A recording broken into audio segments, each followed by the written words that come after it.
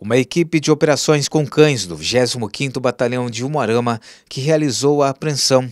Os policiais faziam abordagens e fiscalizações em ônibus que chegavam na nova estação rodoviária da cidade. O cão Átila que identificou o entorpecente. É, onde foi, a localidade foi ali na rodoviária nova.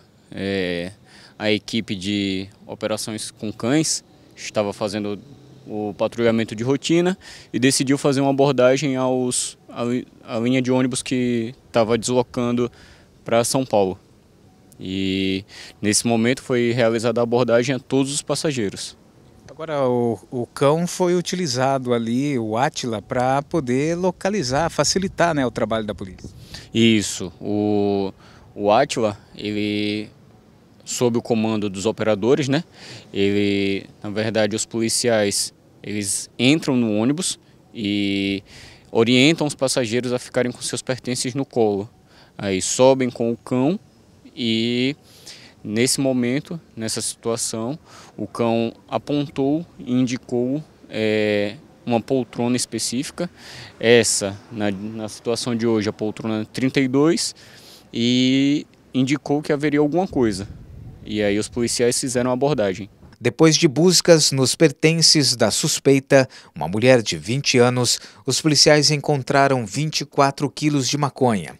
Ela disse que pegou o entorpecente na cidade onde mora, na Viraí, e levaria para São Paulo, onde receberia R$ 2.500. Localizaram tanto na mochila que estava nos pés da passageira, quanto na mochila que estava no compartimento de cima é, ela fez questão de não colocar nenhuma, nenhuma bagagem no passageiro, no, no bagageiro, e isso já, já demonstrou que ela estava com cuidado especial com essa bagagem.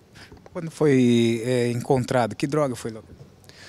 Foi localizado, foram localizados 17 tablete de uma substância análoga à maconha na mochila que estava nos pés dela e mais 17 no compartimento de cima, que fica acima da cabeça, totalizando aproximadamente 24 quilos de maconha. O procedimento então agora qual é?